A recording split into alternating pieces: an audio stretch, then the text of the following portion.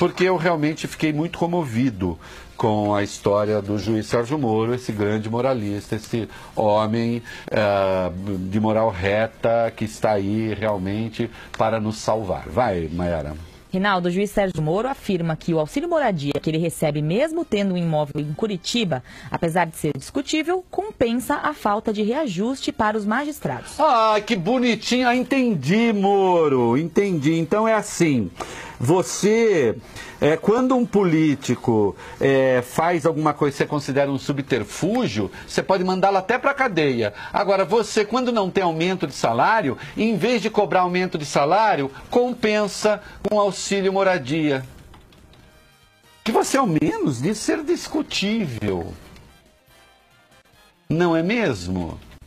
E a gente sabe, né, é, que você passa por agruras, realmente né? Porque sua mulher também é uma pessoa pobrezinha, que não está enfronhada no mundo do direito. É uma vida amarga, uma vida difícil, uma vida complicada, né?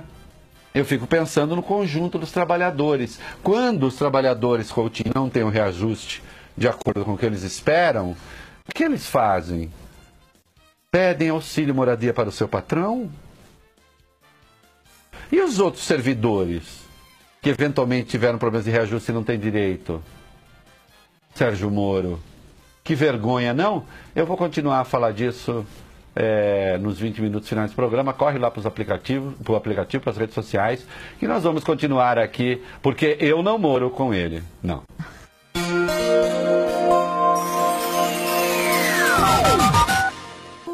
A mulher do Moro, hoje, hoje. Ela, ela gosta né, de participar do Instagram. Do, é, não, ela tá mais no Face. É, no Face tá no não, mas nas redes sociais. Agora. Ela resolveu fazer uma selfie. Um vídeo selfie para o povo. E ela está dizendo o seguinte, Coutinho. O hum. que, que ela está dizendo, Coutinho? O que, que ela falou? Eu moro com ele, mas quem paga o meu aluguel é você. É isso. Entendeu? Eu moro com ele, mas você paga. Não é bonito?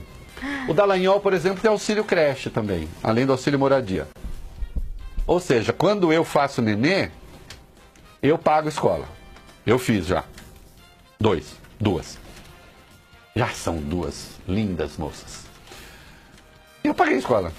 Quando o Dallagnol faz nenê, eu também pago. Olha que coisa interessante. O Dallagnol tem uma outra coisa ainda bonita também. Ele comprou dois apartamentos do Minha Casa Minha Vida. Recebendo auxílio moradia. Um apartamento por 80 mil, outro por 76 mil em Ponta Grossa. Começa com esse negócio de alguém como ele compra a casa do Minha Casa Minha Vida. Já me parece, quando menos, indelicado. Ah, querido, aqui se fala tudo mesmo, pode ficar tranquilo, viu?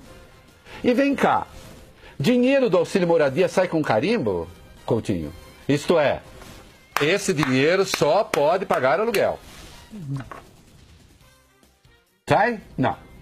Sai lá no contra-cheque. O seu Dallagnol pagou à vista os dois apartamentos, um de 80 mil e outro de 76 mil.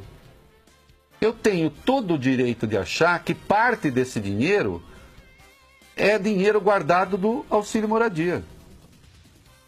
Então o seu Dallagnol não recebe auxílio moradia, ele recebe auxílio propriedade.